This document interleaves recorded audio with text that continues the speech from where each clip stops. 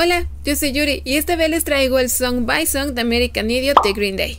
Este álbum marcaría un antes y un después en la carrera de la banda. Sería su primer álbum conceptual, además haría que ganarían el Grammy a Mejor Álbum de Rock en el 2005. Para no hacer esta intro tan larga, comencemos con el video.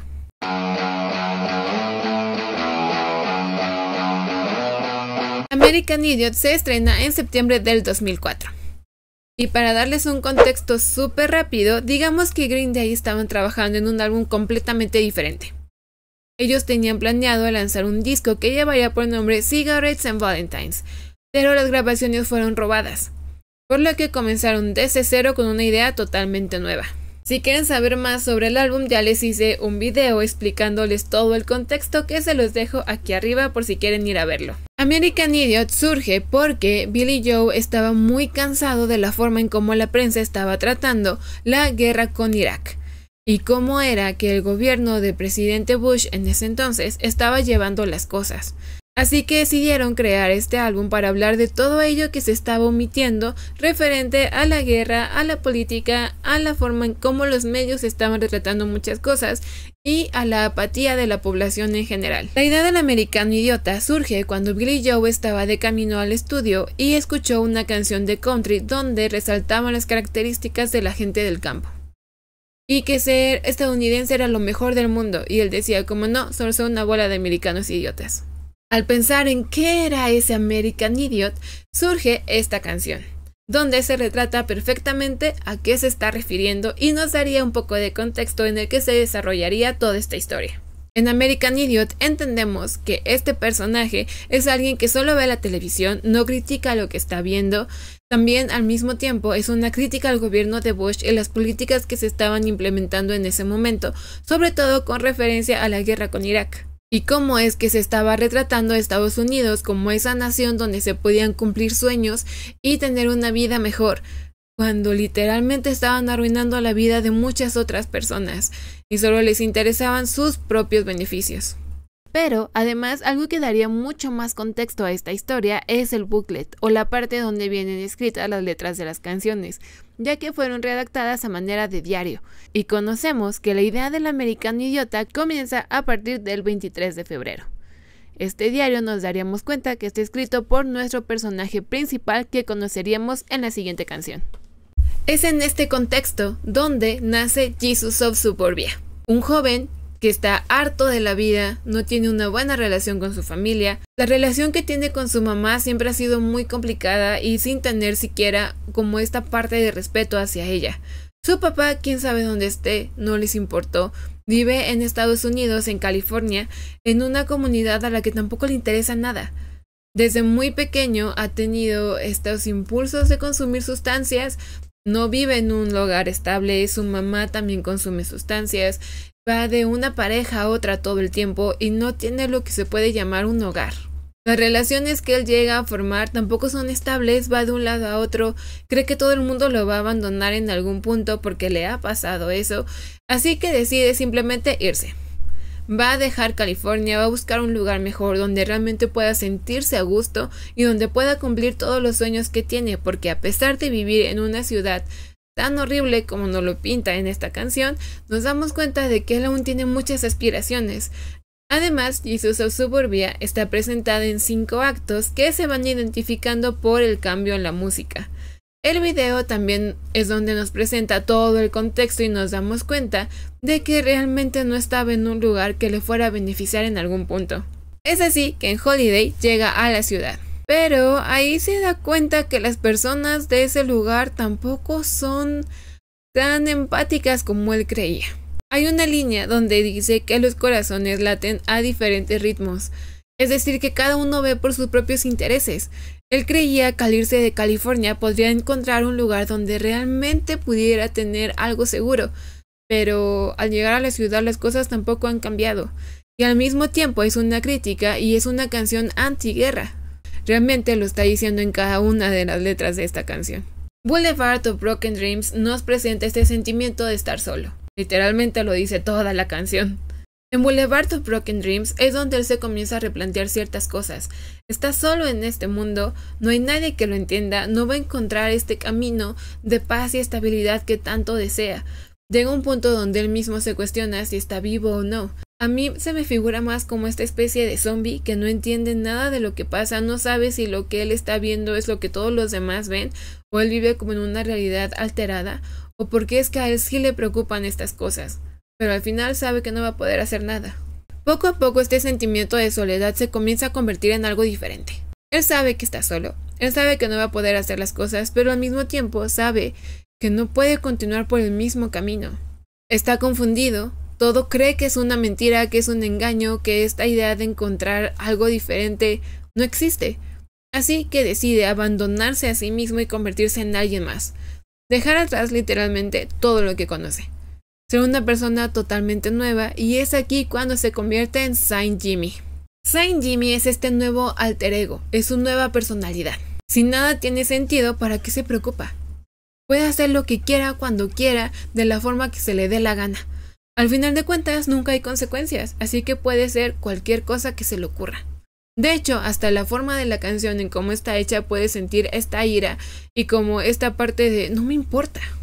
Y contrasta mucho con la forma en cómo estaban escritas Boulevard of Broken Dreams y Waiting, que van como más calmadas, más a este sentimiento de tristeza, y en Saint Jimmy es como esta rebeldía y toda esta ira contenida. Y aquí nos damos cuenta cómo es que Jimmy se va hundiendo cada vez más en la locura. Jimmy Novi Kane creo que es la canción más preciosa del álbum, es mi canción favorita de este disco. Me encanta la música, me encanta la letra, amo Give Me Novocaine. Aquí es donde descubrimos que Jimmy está totalmente perdido. Trata de buscar un cambio que nunca llega.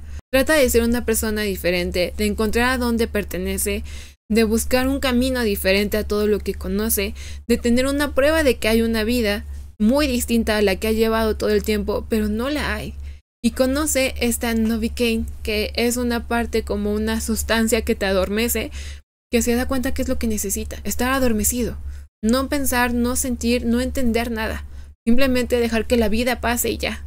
También habla aquí un poco como en tercera persona, justo casi al final de la canción, donde dice que Jimmy le explica cómo funciona esto. Y siento que aquí es como si hubiera esa vocecita en su cabeza, que Jimmy es ese alguien que lo está impulsando a convertirse en alguien diferente, pero Jesus sigue ahí. Y se da cuenta que a lo mejor no es el mejor camino, pero ya no quiere pelear, simplemente quiere paz. Y la única forma de encontrar esa paz es a través de esta sustancia. Y al mismo tiempo, esta sustancia ayudará a que Jesus descanse mientras Jimmy puede salir completamente.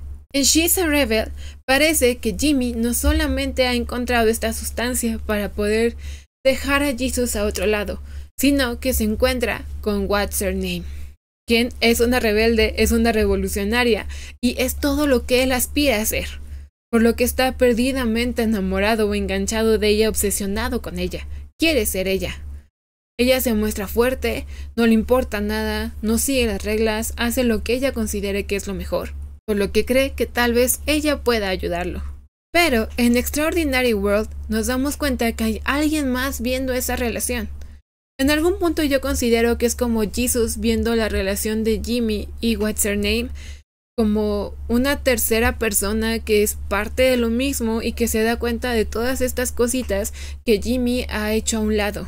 Aquí esta tercera persona, que para mí es Jesus, se da cuenta que What's Her Name también llora, también sufre, tampoco entiende qué está pasando, no es esta heroína que Jimmy cree que es. Es alguien que también está sufriendo, que tampoco encuentra su lugar en el mundo y que está igual de perdida que él. Que ella simplemente está fingiendo frente a todos los demás cuando está sola, ella es alguien completamente diferente. Él comienza a marcar como cierta distancia entre Name. Porque al descubrir esto, se da cuenta que tal vez todo simplemente es una mentira. Y es aquí donde las otras voces en su cabeza comienzan a decirle que todos lo odian, que no hay nadie que lo quiera, que no hay nadie que se va a quedar con él, nadie va a llegar a salvarlo y que está de nuevo solo y tiene que buscar su camino. De hecho, al final de la canción es donde comienzan a decirle que cada uno se fue y buscó otra forma de vida, incluyendo a What's Her Name. También de ahí el nombre de la canción. No era literalmente un explosivo, pero emocionalmente sí lo fue. Saber que toda la gente en la que él había confiado ese último tiempo no estaban ahí tampoco y no se iban a quedar a salvarlo fue un golpe de realidad que necesitaba para poder crecer. Continúan con Wake Me Up When September Ends. Esta canción viene como entre paréntesis en el álbum, así que puede que sea parte de la historia o no, pero yo creo que sí encaja en ella. Habla sobre todo del dolor y la pérdida, pero también de la tristeza y la desesperanza. Está enfocada sobre todo en la pérdida del padre de Billy, pero creo que lo podemos transmitir al sentimiento de Jimmy de ser abandonado, de que solo espera que todo termine. Desde su inicio está buscando este cambio, esta nueva vida, y cuando sucede esto, que sus amigos y su novia lo dejan, solo espera que todo acabe, que en algún punto no encuentre a alguien que lo abandone, ni que lo traicione, y que finalmente pueda sentirse amado o que pertenece a algún lugar. Homecoming creo que es una de las canciones más trágicas del álbum. Está escrita 20 años después de lo que sucede con Jesus of Suburbia, con Saint Jimmy y con What's Her Name. Ahora, Jesus es un adulto y nos habla que Jimmy tuvo que morir para darle vida al nuevo Jesus que es parte del sistema, ese sistema que tanto odia y que juró destruir. Ahora es parte de él. Su vida no cambió, no mejoró, la forma de hacer las cosas tampoco fue diferente y él terminó siendo parte de todo ello. Lo ve desde una perspectiva un poco más madura. Sabía que él solo no iba a poder cambiar el mundo y que tal vez no tomó las mejores decisiones. También menciona What's Her Name y cómo es que le gustaría saber de ella de nuevo. También nos habla de que algunas de las personas que él conocía sí cumplieron esos sueños que él tenía.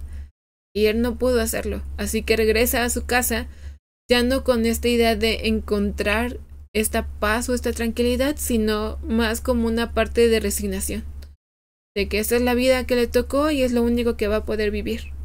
Porque todas esas voces que le metían inseguridades y que le decían que no había otra forma de vivir siguen ahí. En What's Her Name, que es la canción con la que cierra el álbum, nos habla de que realmente la extraña y que What's Her Name sí fue una parte muy importante en su vida.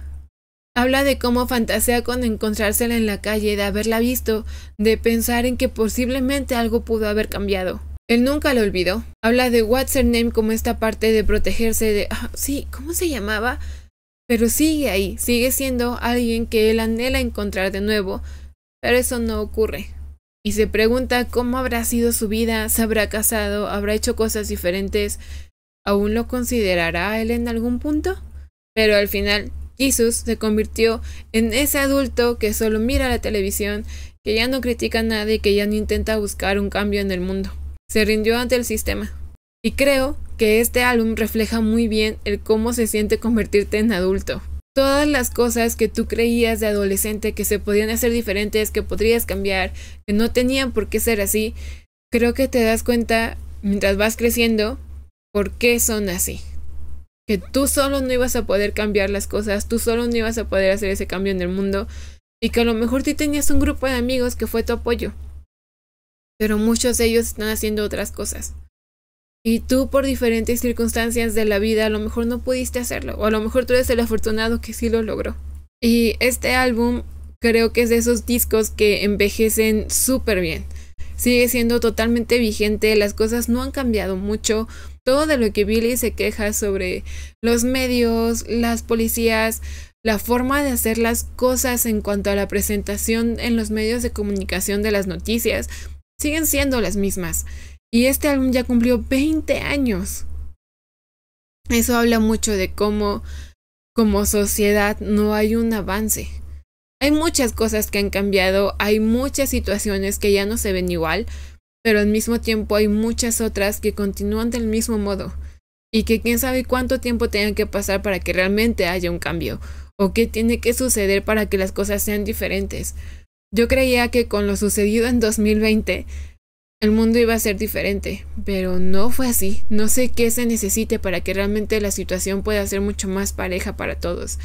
Pero cuéntenme ustedes qué piensan sobre este álbum. ¿Les gusta American Idiot? ¿Les gusta Green Day? ¿Cuál es su canción favorita? ¿Cuál es la interpretación que le dan ustedes a este álbum? Este fue como un resumen muy rápido de cómo creo que se pueden ir dando las cosas y la situación en todo el disco porque da para hablar muchísimo más de él. y tal vez hasta podríamos analizar realmente canción por canción, letra por letra, pero creo que sería un video larguísimo. Así que cuéntenme ustedes qué piensan y continuamos hablando sobre este disco ahí en los comentarios. Así que muchas, muchas gracias por ver el video y si les gustaría que hablara sobre alguna banda, disco, película, anime, libro, lo que sea en específico, déjenmelo aquí en los comentarios. O también me lo pueden pedir en todas mis redes que aparezco como arroba Yuri Blackthorn, ya sea en TikTok, en Instagram o en la página de Facebook. Muchas gracias de nuevo por ver el video y nos vemos en el próximo. Bye. Música